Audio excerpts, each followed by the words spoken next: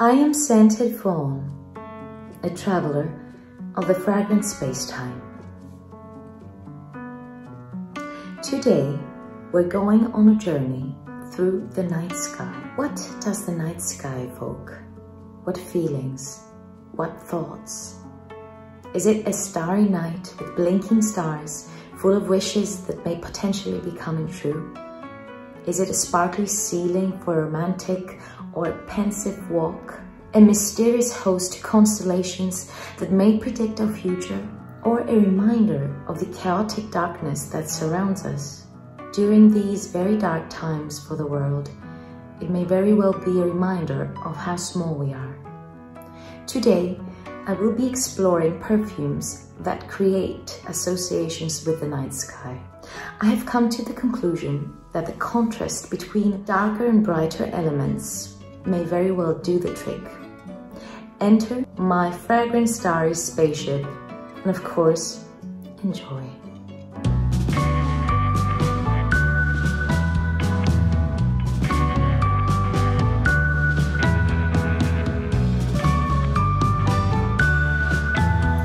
Lemon, grapefruit and all the sour citruses give to the blends a vibrant quality which when combined with earthier aspects create this contrast that reminds me of the games light plays in the dark of the night. Neroli Outrenoir by Guerlain. Here you come. This perfume begins with a clean and somehow musky bitter citrus quality. Just spray it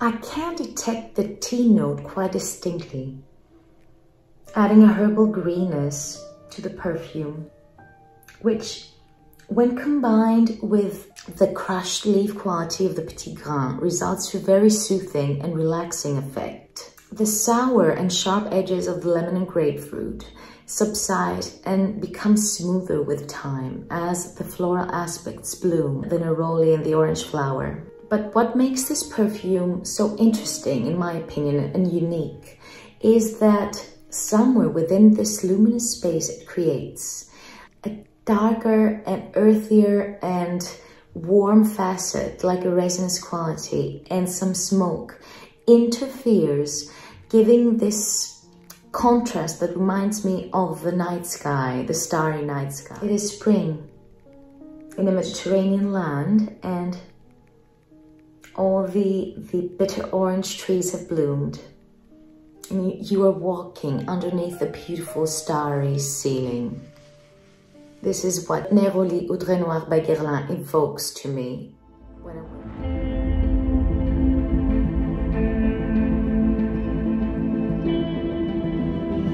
Aldehydes, from what I've read, are a family of organic compounds that can be found in various elements like the rose, the citronella and the cinnamon, but they can also be made in the lab.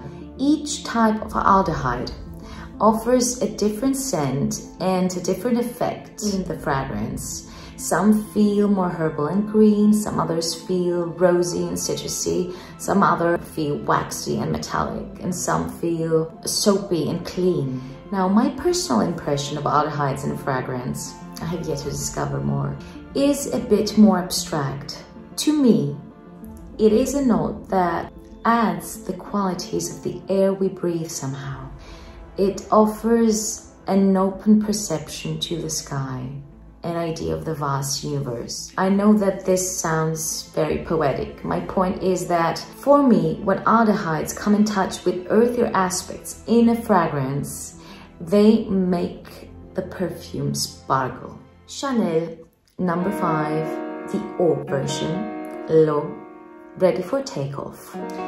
Chanel number five, the Eau version, is for me a minimalistic fragrance which offers an effortless simplicity without forgetting to manifest the fine lines of its creation. It carries, of course, quite a big amount of citric elements. It has oranges, mandarin oranges, lime, lemon, bergamot, and all these citric qualities combined with the aldehydes give to this perfume a sparkly, radiant and spirited effect. It feels to me like a combination of air and celestial elements. With time, the perfume becomes muskier and all the notes feel so very smoothly blended that you can no longer detect and even forget the compounds. It is this sleek, shiny, effervescent, and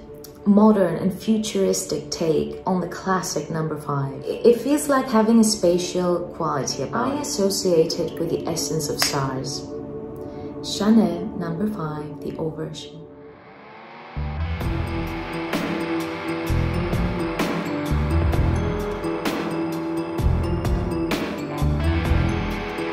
The combination of the zesty quality of oranges along with the warm resinous amber gives me the impression of the twinkling feel and thus I bring you Orange Bitters by Jo Malone.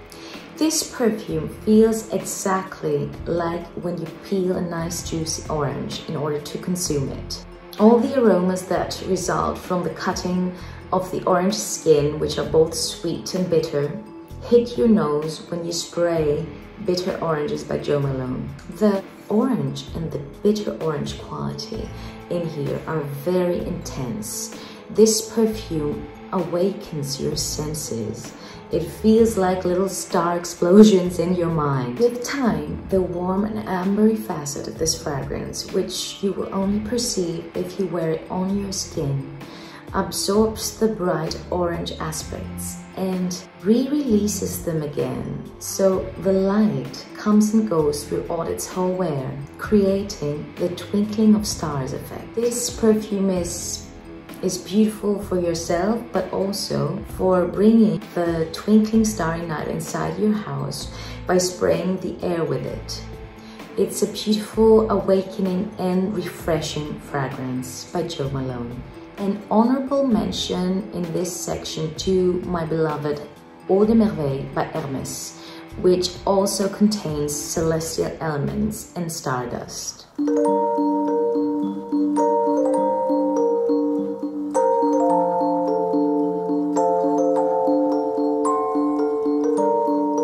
Patchouli might be an earthy note, but for me, it offers a shady quality to perfumes it feels like a game of darkness and light on a shiny surface with its sharp, uh, minty aspects, which usually balance sweeter blends and offer another olfactive dimension to the fragrances.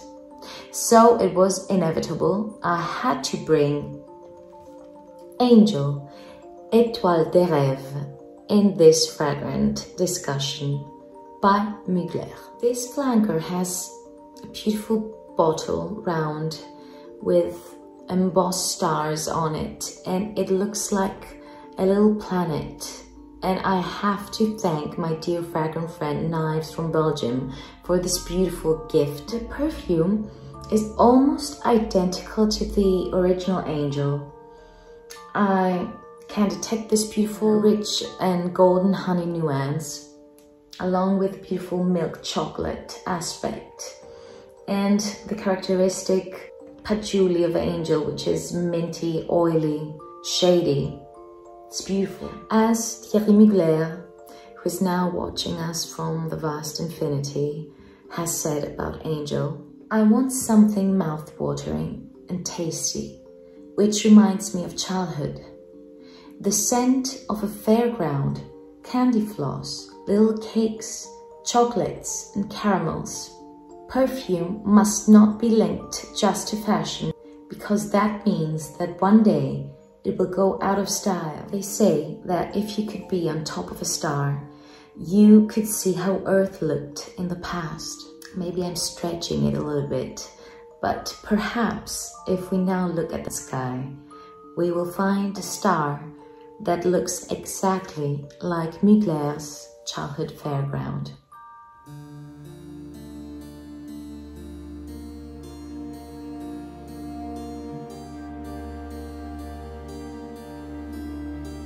We will now be exploring perfume-wise the darkness of the night. The sunless, dim part of the universe, where light does not exist, a fragrant black hole. Eau du soir by Sisley.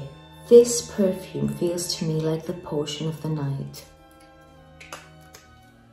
With first spray, I get a tender oak moss and patchouli scent and a dark rose essence along with a creamy carnation all masterfully blended. There is no sharpness, no thorns, this feels to me more delicate than the 90s first version of this fragrance. There is also mandarin orange and grapefruit in here. It feels to me that these bright aspects try to win over the darker aspect, but it is a lost battle quite from the beginning. So they are lurking somewhere in the background like a faint memory of light. I think that this perfume is a masterpiece because of this specific trait. It may be dark, but it is tranquil like the serenity that someone may find in silence and solitude. It is dark, spicy, floral, austere, mossy. It is the fragrance of a creature of the night.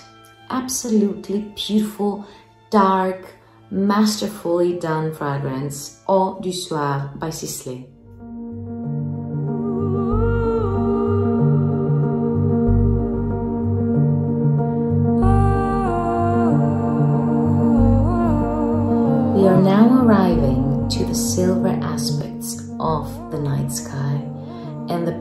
Aesthesis of the moon. Fragrances like MFK's Aqua Universalis and Gentle Fluidity Silver could also be very, very fitting for this section, but I have brought to you Moonlight in Heaven by Kilian Paris in this beautiful travel-size bottle. Moonlight in Heaven is an iridescent tropical and romantic beauty. It is not very easy to describe because it bears elements from different aromatic categories. It feels to me edible and fresh at the same time, also creamy and fruity, and it also has a natural aesthesis about it. With first spray, I get a combination of tropical fruits, coconut and rice cream. There are sweet, powdery, and sour aspects that exist simultaneously in a glistening, shiny feel. With time, it becomes even more creamy and satin-like. Tides are known to occur due to the gravitational pull of the moon. This fragrance brings to me the unearthly aesthesis of a pastel blue beach after the tide found in another planet, exotic looking and unreal, with pragmatic elements and sublime qualities that coexist. I can detect the fragrance the whole day when I have it on, and it is very long lasting and distinct. A beautiful perfume, Moonlight in Heaven by Kilian Paris.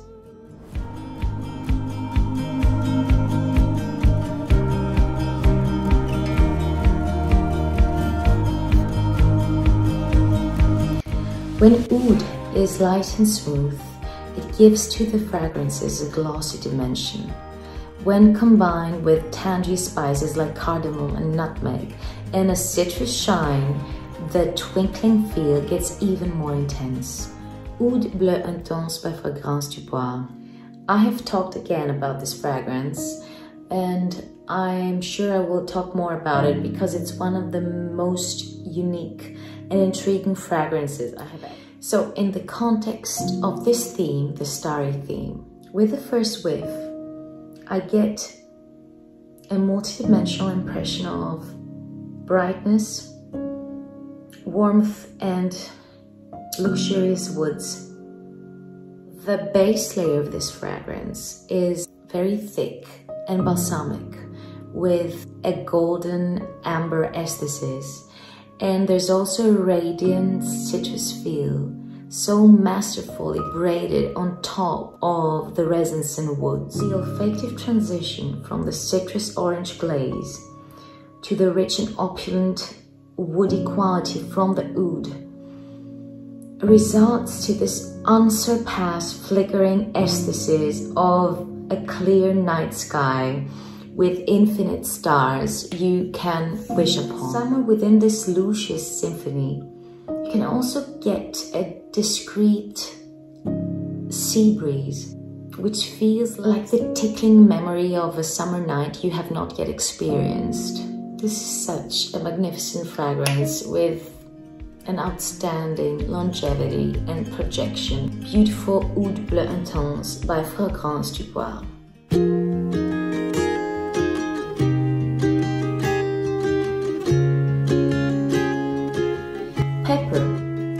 With its hot and bracing scent, gives a bright accent to fragrances and when combined with the sweet and warm vanilla note, it makes things glitter. Thus, I have brought to you Nuit et Confidences by Annick Goutal. This perfume is a sparkly, fluffy combination of vanilla, sugar, and tonka bean. There's also bergamot in this fragrance, which offers a light and airy quality. It has no astringent or sour side, but it offers a fresh, uplifting side. The sensation you get with the fragrance is feathery it feels like vanilla floss and dreams, and it also has a glittery playfulness from the spicy pepper. I get the image of a hot balloon traveling in the night sky, very close to the stars. And in this dream, you may also catch a star and keep it in your pocket until your wish comes true. I haven't tested the longevity and projection properly, only with a sample. I think I need to get a bottle very soon because I enjoy this perfume very much. Nuit et Confidences by Goutal Paris.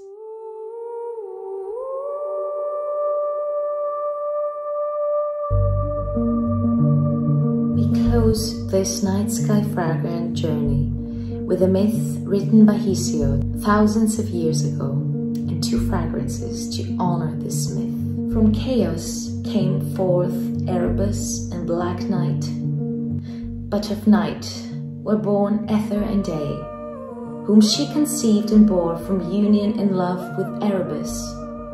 And Earth first bore star Uranus, equal to herself, to cover her on every side, and to be an ever sure abiding place for the blessed gods. So, in fragrance form, Ouranos and Gaia by Jardin de France. We begin with Ouranos Eau Céleste by Jardin de France, which is an EDP. This is a citrus woody aromatic fragrance which features the note of citron, which has a very plethoric bitter citrus quality. And it also has myrtle, which has sweet and herbal green aspects. It is a fragrance that evokes hot spring images, clean towels, and very high-end bath products in the same vein as Vert by the House of Bulgari. The citrus aspects are very luscious and they give a transparent, diaphanous and ethereal quality to this perfume. Gaia Eau Mythique, on the other hand, it is also an EDP, is an earthier and more powdery fragrance with the notes of iris and vetiver. It feels somehow rooty and sweet. It also has a bitter orange quality and with time it becomes cleaner and muskier. Did a little experiment. I asked three different people to choose between the two without seeing which one it was, which fragrance would represent the deity who rules the kingdom of heaven. And all three chose Ouranos. So the name of the fragrance is very, very accurate. Our fragrant journey to the starry night has come to an end. I hope you enjoyed the ride among the stars. I'm sure you managed to catch a star and put it in your pocket. May it shine for you as you wish. Until my next video, I send you a luminous hug. The sky grew darker paint his blue on blue, one stroke at a time, into deeper, deeper shades of night.